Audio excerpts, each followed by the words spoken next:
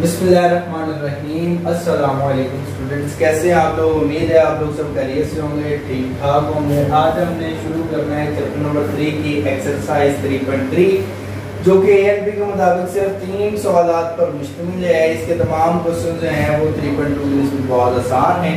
इन question को शुरू करते हैं तो पहला क्वेश्चन देखते हैं। तीन अशकाश में दो लाख रुपए नफा को तकसीम के लिए, अगर उनके हिस्सों में नस्बत तीन, नस्बत दो, नस्बत पाँच हो तो सिंपली नफा की नस्बत हमारे पास क्या है? नफा की नस्बत बराबर है तीन नस्बत, दो नस्बत, पाँच। अगले स्टेप में आपने क्या करना है? इन नस्बतों को जमा कर देना है, जिसे हम कहते हैं नस्बती मजमुआ।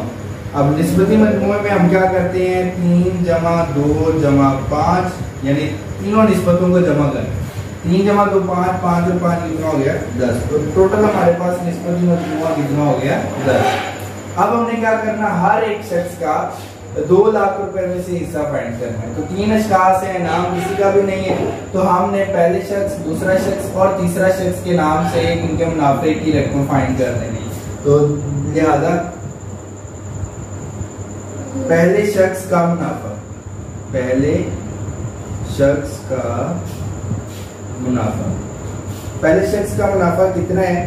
पहले शख्स का मुनाफा टोटल हमारे पास दस हिस्से हैं, जबकि पहले शख्स का मुनाफा कितना है? निस्बत में है तीन तो पहले शख्स के तीन हिस्से हैं, दस में से, और टोटल वैल्यू हमारे पास कितनी है? दो लाख। तो ज़ीरो से ज़ीरो कट गया बाकी हमारे पास बीस हज़ार बच गया। बीस हज़ार को तीन से तरफ़ करें तो साठ हज़ार ये सिंपल कैलकुलेशन की अगर आप लोग चाहें तो कैलकुलेटर का भी इस्तेमाल कर सकते हैं। इसी तरह दूसरे शख्स का मुनाफा कितना है? दूसरे शख्स का मुनाफा। दूसरे शख्स का मुनाफा बराबर है। टोटल हिस्से कितने हैं? दस। और दूसरे शख्स का हिस्से कितने हैं? दो। और टोटल रकम हमारे पास कितनी है? दो लाख रुपए अब दो लाख के साथ सिंपली ज़ीरो से ज़ीरो काट गया बाकी ये बीस हज़ार बच गया बीस हज़ार को दो से तरफ़ करें तो चालीस हज़ार।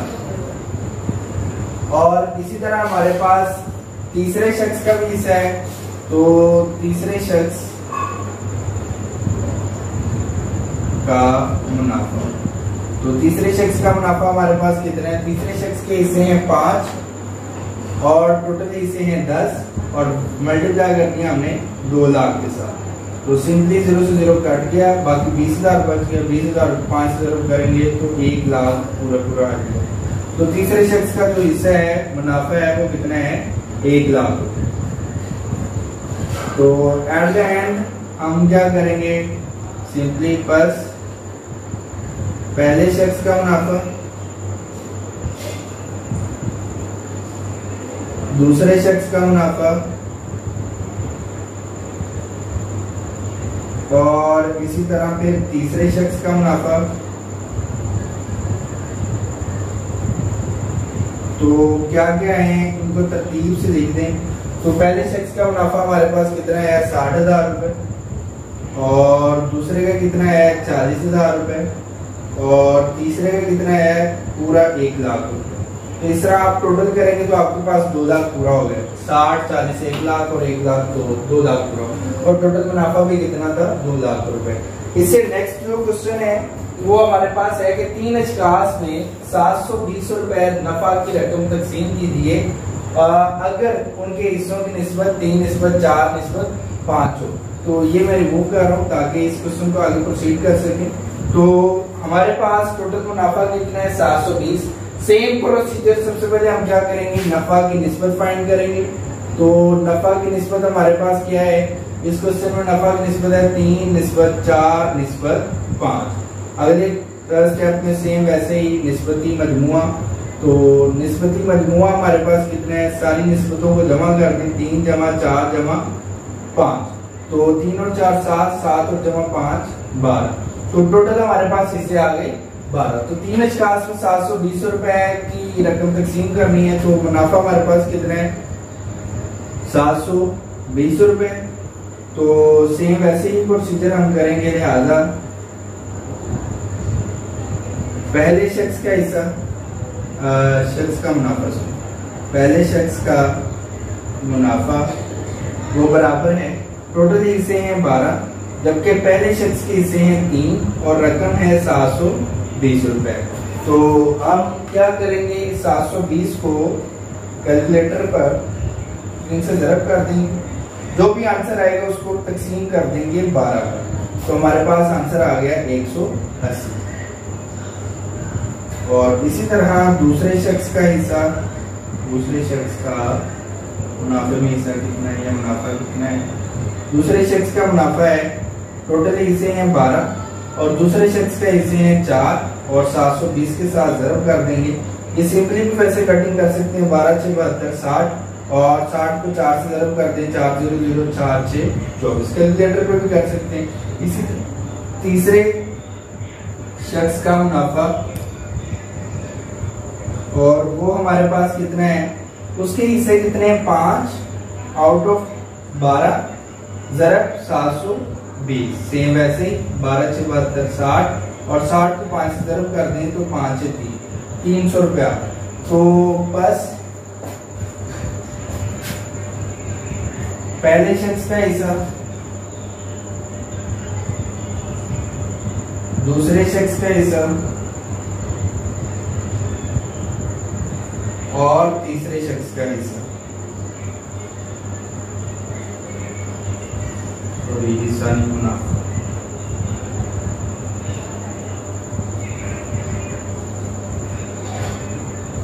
कितने पहले शख्स का हमारे पास है मुनाफा एक सौ अस्सी रुपए। दूसरे का है हमारे पास दो सौ चालीस रुपए। और तीसरे का हमारे पास है तीन सौ रुपए। तो तीन सौ, चार सौ, पाँच सौ पाँच सौ चालीस, छह सौ चालीस और अस्सी ऐड करेंगे तो सात सौ बीस हो जाएगा हमारे पास।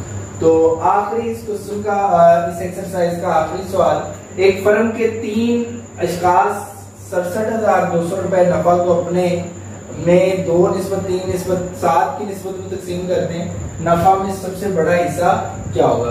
तो पिछले क्वेश्चन में इसमें सिर्फ़ एक चीज़ आती है कि हमने ये भी बताना है कि सबसे ज़्यादा जो हिस्सा है वो किसका होगा? पहले शख्स का होगा, दूसरे का होगा या तीसरे का होगा?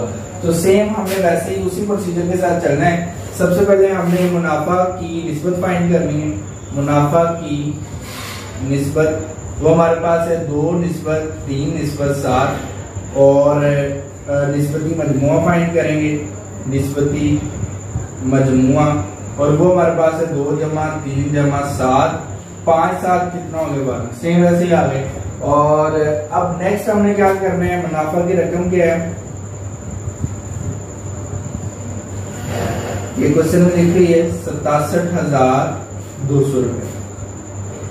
तो पहले शख्स का मुनाफा कितना है? पहले शख्स का मुनाफा। तो ये हमारे पास कितना है?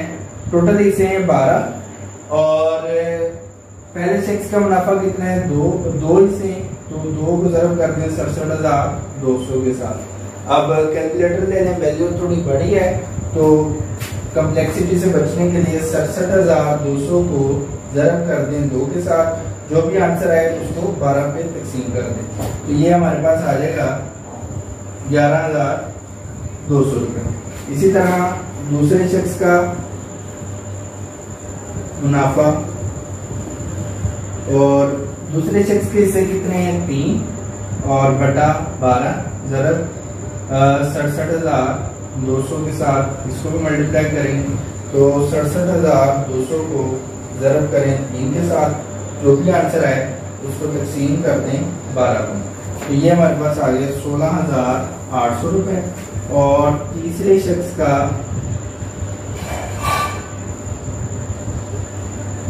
मुनाफा, वो हमारे पास कितने, तीसरे शख्स के हिस्से कितने?